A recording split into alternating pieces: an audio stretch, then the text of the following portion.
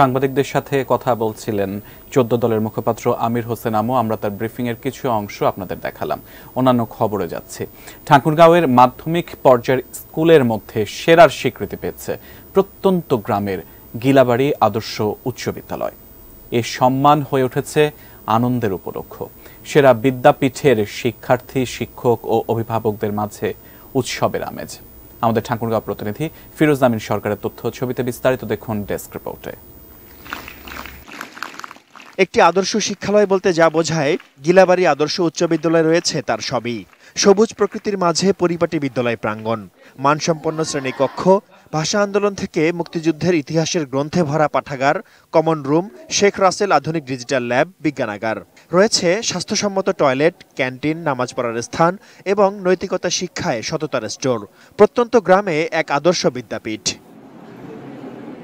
শিক্ষার্থীদের মাঝে প্রকৃত ইতিহাস তুলে ধরতে রয়েছে মুক্তিযুদ্ধের ঐতিহাসিক ছবি এবং বঙ্গবন্ধু কর্নার। লেখাপড়ার পাশাপাশি ইতিহাস মনস্ক শিক্ষার্থীরা হয়ে উঠছে দেশপ্রেমে উদ্বুদ্ধ। এই কন্যা থেকে আমরা সঠিক ইতিহাস জানতে পারছি। আমাদের বিদ্যালয়ে সততা স্টোরটি আমাদেরকে নৈতিকতার শিক্ষা দেয়। এখান থেকে মানে প্রস্তুত হয়ে শহরের বাচ্চাদের সাথে কম্পিটিশন করি এবং ফার্স্ট সেকেন্ড হই। অবসর সময় বই পড়ি ক্লাস চলে না তখন হচ্ছে ক্যারাম আছে ক্যারাম খেলি। গেল দশ বছর ধরে শহরের সরকারি বালক ও বালিকা উচ্চ বিদ্যালয় ছিল জেলার শীর্ষ স্থানে এবার সেই রেকর্ড ভেঙে গিলাবাড়ি আদর্শ উচ্চ বিদ্যালয় সেরা বিদ্যালয়ের স্বীকৃতি পায়। এই স্কুলের কাউকে অতিরিক্ত অর্থ খরচ করে প্রাইভেট পড়তে হয় না। শিক্ষার্থীদের বাড়তি যত্ন ও আন্তরিক পরিচর্যায় রাখেন শিক্ষকরা। তাই তো এমন সাফল্য। বাচ্চাদেরকে কীভাবে স্মার্ট করা যায় এই সুযোগ সুবিধা গুলো আমরা এই ল্যাব থেকে বাচ্চাদেরকে দেওয়ার চেষ্টা করতেছি। যার যে সমস্যা আমরা ক্লাস অবসর সময়ে তাদের সেই সমস্যাগুলো সমাধান করতে আমরা আপ্রাণ চেষ্টা করি। কোন শিক্ষার্থী পিছিয়ে রয়েছে তাকে কীভাবে আরও উপরে তোলা যায় কীভাবে তাকে আহ, ভালো একটি জায়গায় নেওয়া যায় আমাদের এই টিম আছে তারা এগুলো কাজ করে আমরা এক্সট্রা ক্লাসও নেই। স্মার্ট বাংলাদেশ বিনির্মাণের বাতিঘর এমন বিদ্যালয়ে, যা অন্যান্য বিদ্যালয়কে অনুপ্রাণিত করবে।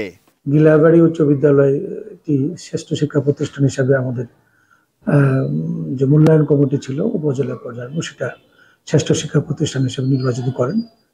এই প্রতিষ্ঠানটি একটি প্রতিষ্ঠান, আদর্শ প্রতিষ্ঠান হিসেবে যেসব, তার ক্রাইটেরিয়াগুলো থাকা দরকার, সেগুলোই মোটামুটি সব মিলাই সে ভালো মতো পরিচালনা করছে।